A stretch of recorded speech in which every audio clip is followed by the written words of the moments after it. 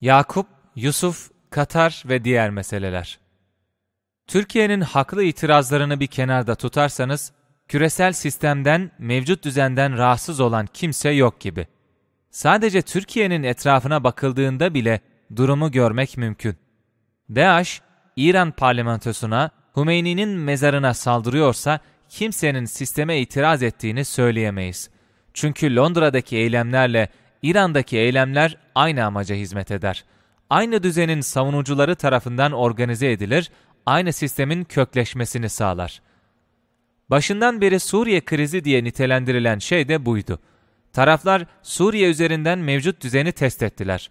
Rusya ikinciliğini korumak, İran, Rus-Amerikan mesafesini canlı tutarak bölgeyi kontrol etmek, Arabistan gizli NATO üyeliğini sağlama almak için Suriye'de saf tuttular. Türkiye hariç. En başından beri Türkiye, sistemi zorlayan, itiraz eden, hiç olmazsa durumun düzeltilmesini isteyen tek ülkeydi. Türkiye'nin fiilen saf değiştirmesi yeni dünya savaşı anlamına gelir demiştim. Bunu yapmadı, itiraz etti. Bu sistem değişmeli, bunu hep birlikte yapmalıyız dedi. Bulunduğu yeri terk edip karşıya geçmedi. Daha büyük çatışmaları, hatta açık savaşı engelleyen şey de Türkiye'nin bu tutumuydu. Şimdi bugünlerde eski sistemin aynı zamanda yeni sistem olduğunu, olacağını hatırlatan hamleler geliyor Amerika'dan. Katar'a yapılanları Trump'ın çaylak dilinden okursanız meseleyi daha kolay anlarsınız. Bu adamın da böyle bir faydası var.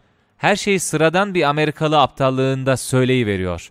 Ben sordum, bu radikalizmin merkezi, destekçileri kimdir dedim, bana Katar'ı işaret ettiler diyor mesela. Trump, Arapların büyük ağabeyi olan Suud ailesini ziyaret etmiş ve sormuş. Sizin kardeşlerinizden bazıları terörizme destek veriyor. Kimdir onlar? demiş. Suud kralı da şu zengin küçük kardeşimizdir. Siz hiç merak etmeyiniz efendim. Biz onun cezasını vereceğiz demiş ve kapıları kapatmış. Kapıları kapatmak da değil. Küçük kardeşinin havasını kesmiş. Öl demiş. Öteki kardeşler de büyük ağabeylerinin yanında saf tutmuşlar toplu olarak. Düzenimizi bozmaya kalkarsan başına gelecekleri bil demişler. Şimdi misal yerine oturur mu bilemiyorum tabi. Katar ne kadar Yusuf'tur, ötekiler ne kadar onu kuyuya atan kardeşleridir, kaç asırdır Yakup nerelerdedir bunları sahiden bilemiyorum.